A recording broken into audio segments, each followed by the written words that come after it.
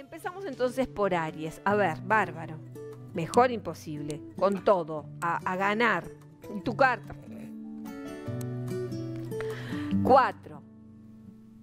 Día. Cuatro. Mes. El cuatro. El emperador. La luna en Aries. La luna en Aries.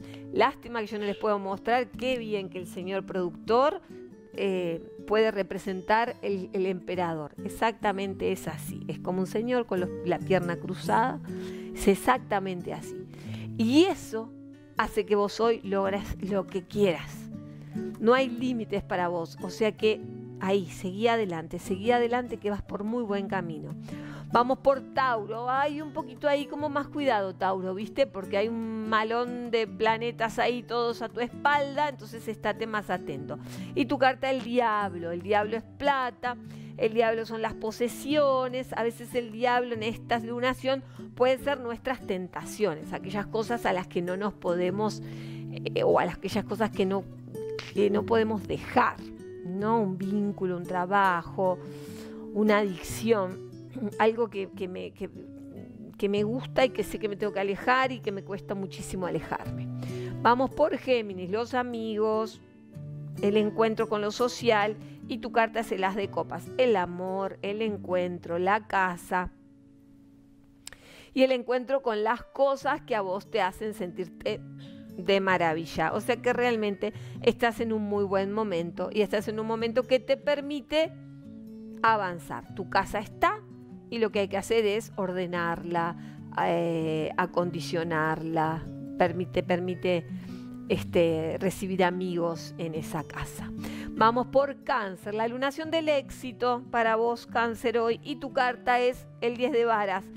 El éxito siempre viene acompañado de mucha responsabilidad, ¿no? O sea, si me va bien en algo, yo me tengo que hacer cargo de un montón de cosas, tengo que trabajar en un montón de cosas, tengo que tratar de que todo se encamine y sí, es así, me tengo que encaminar, me tengo que... Y va por eso, ¿no? Va por, va, va por ese lado. Va por ese lado de hacerte cargo y cuando en el momento que te haces cargo, te vas sintiendo un poco mejor. Vamos en, en, este momento al signo de Leo, que Leo tenés tu luna profesional y tu carta es el éxito, o sea que hay un éxito profesional, hay una retribución, Puede ser un aumento de sueldo, puede ser un aumento de sueldo, puede ser un reconocimiento económico, puede ser que alguien, bueno, dice, bueno, cita, estás bien, te hace un reconocimiento. Es, es, es, está interesante la carta del día de hoy, más la iluminación del día de hoy, o sea, una combinación positiva para vos, una buena combinación. Vamos por Virgo y tu día de la gran transformación y tu carta es el sumo sacerdote. Alguien va a querer darte un consejo, alguien va a decirte, bueno, esto sí, esto no, esto para acá, esto para allá. Vos, eh, a ver, aceptá lo que a vos te parezca. Tampoco es que todo lo que te dicen tienen razón, ¿no? O sea, vos escuchá, esto sí, esto me parece, esto capaz que sí, esto capaz que no tampoco es amena amena todo lo que nos dicen. Uno tiene que, aprender también a, saber discernir si eso que me están proponiendo me es útil o no me es útil. O sea, es un momento para, para ver. El tarot es una guía, es como un consejero, un amigo que te, que te tira unas palabras. Para tener todos los días en tu celular la carta de tarot, tenés que enviar tarot al 5004 y yo te voy a estar enviando la carta más el video que la explica. Al 5004 tarot, no te olvides. Bueno, continuamos con Libra. La luna enfrente, el sol enfrente, el ascendente enfrente hasta ahora. Intenso, intenso. Eh, vas a estar en el ojo del volcán sin lugar a duda, ¿no? Todo lo bueno y todo lo malo que hagas, todo, todo, todo, todo. Y la carta, la fuerza. O sea que lo que tenés que tratar es decir, sí, todo lo que sea, eh, como muy tolerante, como muy diplomático, la diplomacia ponerla a la orden del día, porque si no, te puede llegar a desestabilizar. Por eso es que vos tenés que estar como muy atento a lo que vas a hacer, muy, muy, muy atento, muy atento a, a eso. a lo que querés hacer contigo también. Vamos por Escorpio, la luna de la limitación. Y tu carta es el 7 de varas.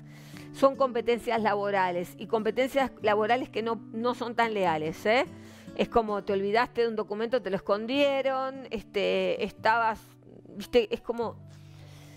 El 7 de varas con esta luna es ojo, cuidado, mm, más atento, más atento aún. O sea, ah, sí, estoy atento, Lourdes, no, más atento. Hay que estar muy atento, porque hay que tener cuidado. Vamos por eh, Sagitario, sí. En este momento, una buena lunación de crecimiento y desarrollo. Y tu carta es el 4 de espadas. Puede ser una enfermedad que te moleste, puede ser una respuesta negativa que te diga que no, todavía no. El 4 de espadas es la tregua. Es yo no puedo todavía acceder a eso que estaba deseando, necesitando. Es como bueno, tener más cuidado el día de hoy, nada más.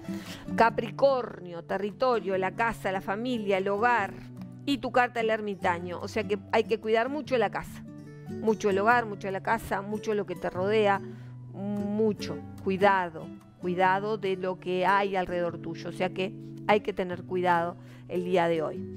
Vamos por Acuario y la comunicación de esta lunación. Y tu carta es el 5 de copas. Estoy triste por algo. Me tengo que despedir de alguien, me tengo que despedir de algo. En una luna que tal vez sea me despido de un amigo, me despido de un, de un hermano, o sea, me tengo que alejar de alguien. De repente se te ocurre, no sé, mudarte capaz, o, algo que es, que es cambio una decisión muy, muy de la cabeza que te genera un cambio. Vamos por Pisces con la lunación de la plata y la carta es la luna. O sea que ojo con la plata, ojo con lo que gastas, ojo con lo que firmás. Porque esto es ese contrato que en la letra chica, desastre. Entonces le, te lees la letra chica y si podés evitar hoy firmar algo, evitas. Hoy este, cuando uno puede evitar algunas cosas, las tenemos que evitar. O sea, porque si no, estamos mucho más expuestos a ser engañados. La carta de la luna te expone a ser engañado. O sea que hay que estar atentos.